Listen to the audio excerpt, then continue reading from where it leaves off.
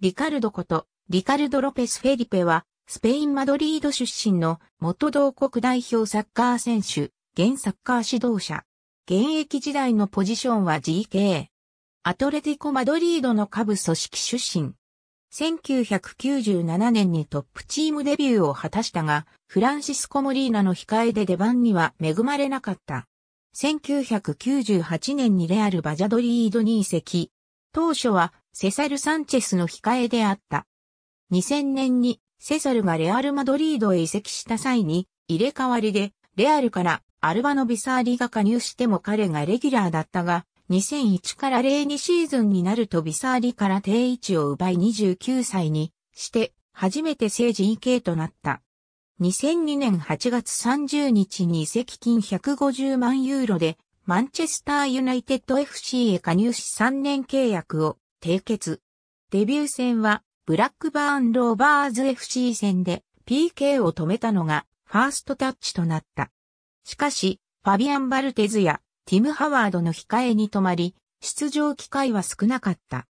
2003から04シーズンは、ラシン・サンタンデールにレンタル移籍。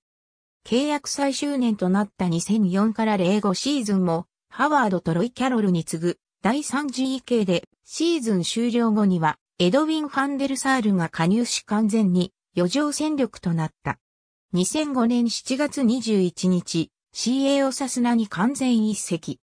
移籍後は、政治系の座を不動のものとし、2006から07シーズンの UEFA カップでは12試合に出場し、ベスト4進出に貢献した。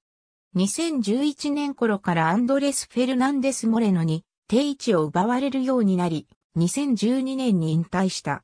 2013年1月7日、オサスナと契約を結び現役復帰。控え GK であるアシエル・リエス語が負傷したことによるものであるが、本人もメディアに対し、エープリルフールかと思ったと驚きを述べた。2001年11月14日のメキシコ戦で、スペイン代表デビュー。2002年夏のフェレンツ・プスカッシュシャオン試合にも出場した。2002 FIFA ワールドカップでは、イケル・カシージャスに次ぐ第2次系だったが、出場機会はなかった。2013年6月24日、ベルギー一部のクラブブルッヘとゴールキーパーコーチとして契約した。2014年1月28日、クラブブルッヘとの契約を解除した。2014年7月24日、日本代表ゴールキーパーコーチに就任した。バヒド・ハリル・ホジッチ監督に体制が変更となってからも続投していたが、契約満了に伴い、2016年7月末日をもって退任。2017年1月12日、千葉県市川市にあるサッカースクール、アーセナルサッカースクール市川のテクニカルディレクターに就任した。2018年1月2日、ラシン・フェロルの監督に就任した。